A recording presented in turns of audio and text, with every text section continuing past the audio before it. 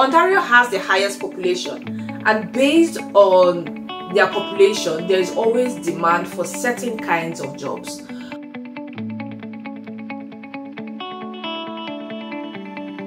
Hello friends, welcome back to the Canada Info Hub channel. My name is Wolo and if this is the first time you are seeing my videos, I'll just ask you to subscribe to this channel smash the like button destroy the like button because i share information about life in canada and immigrating to canada. In fact it is a one-stop channel for everything canada. Any information about canada um, concerning immigration living um, education anything that is happening in canada i share the information on this channel for everybody to know and it's actually useful for people who plan to immigrate to Canada or who plan to come to study in Canada. Today's video is actually an update. Yes, I love giving updates because things keep changing and it's an update concerning one of the immigration programs for Ontario. Ontario has the highest population and based on their population, there is always demand for certain kinds of jobs those jobs they use they rarely find people to fill those jobs. And that's why there is an immigration program called the ontario employer job offer stream.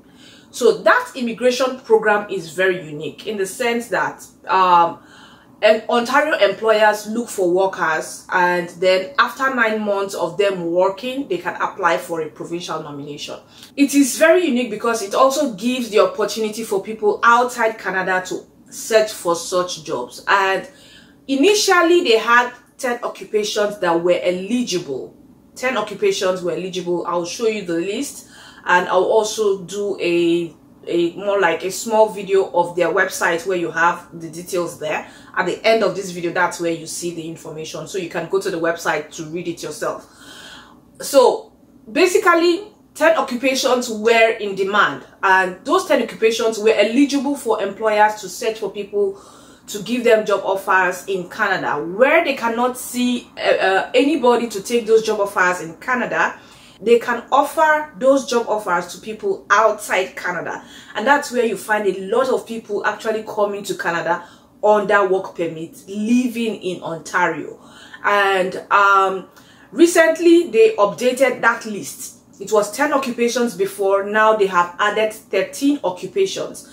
Now, for the 10 occupations, there there was no restriction to where the job offers would be if it's in toronto if it's outside toronto if it's outside the major cities there was no restriction. It's either inside or outside. But this particular one they've added 13 occupations now.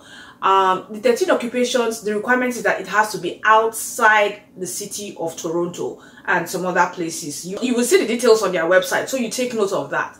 So it requires a job offer and there's no restriction to um, anybody applying. In fact, the website specifically states that if the employer cannot find someone in Canada to take the job offers, they can offer those job offers to people outside Canada.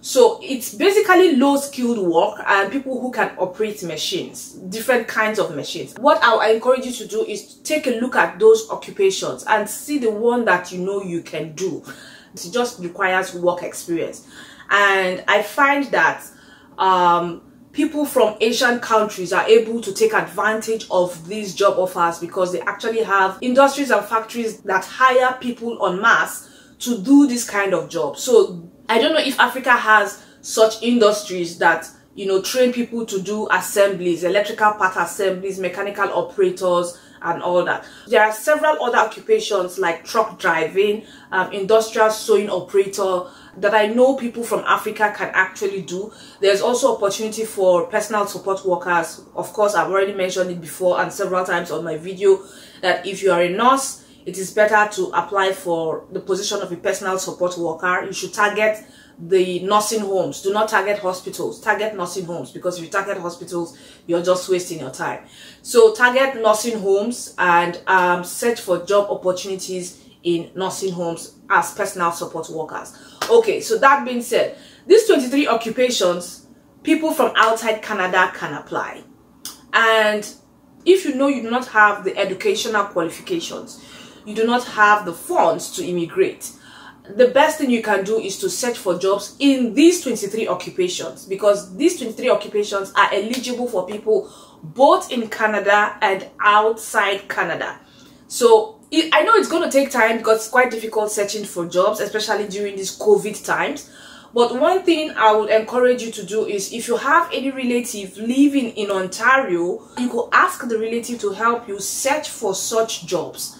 Yes, ask the relative to help you. If that's the only thing the relative can do by calling employers on your behalf to search for a job for you and you know networking on your behalf and talking to them on your behalf, connecting you to employers, then that is something that is, something that is that is good for you you know but if you do not have any relative you have to go through the traditional route of going online like job bank like um indeed.ca to search for jobs. And, and i think i need to do a video of websites where you can search for jobs. I'll do a comprehensive video for that but maybe sometime in the future i don't know when i have the time i'll be able to create time for that. So if you find yourself in this position where you know you do not have the educational qualifications um, i mean we have one or two relatives that did not go to school but we know that they can do one or two things. They, they have this hands-on work experience maybe like sewing machine operators and all that you could start searching for jobs. So if you do not have the educational qualifications and you know that you can work as a general farm laborer you can work as um, an industrial sewing machine operator i mean we have a lot of um, tailors we have a lot of seamstress that can work in this capacity. So the best thing you can do is to start searching for jobs. And the requirement is you must have a full-time job offer after you must have searched for these jobs like i said you can talk to your friends your relatives living in ontario to help you search for these jobs. Once you get the job offer it must be a full-time permanent job offer. Um, you can use that as an opportunity to apply for a work permit.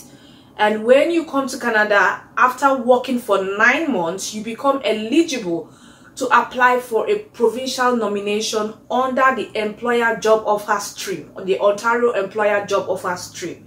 So that is um, an immigration pathway for people who do not have the educational qualifications, but they have the experiences and can work in those jobs you know there are so many jobs in canada that people in canada do not like doing and that is why you have these jobs listed on the ontario government website stating that employers can employ people from outside canada in these jobs. So take a look at the list of these 23 occupations and look at the one that you know you can apply for. If you know you can apply for any of those 23 occupations on that list it is best to get a Canadian standard resume as usual and then if you have a relative like I've mentioned before talk to the relative to help you connect you with employers in places outside the city of Toronto or in the city of Toronto as well. Based on the 10 occupations the other 13 occupations are cities outside Toronto.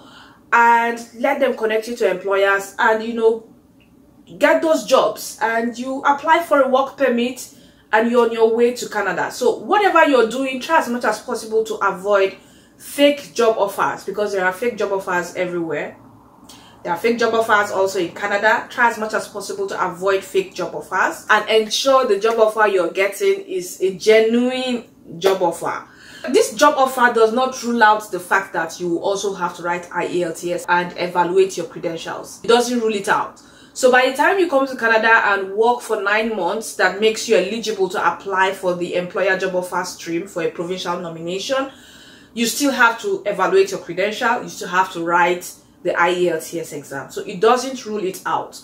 So do not quote me. You'll read it on the website so you have all the details and um, thank you so much for watching this video please ensure you share it with your friends and loved ones and click on the subscribe button if you have not subscribed to this channel and see you in my next video bye bye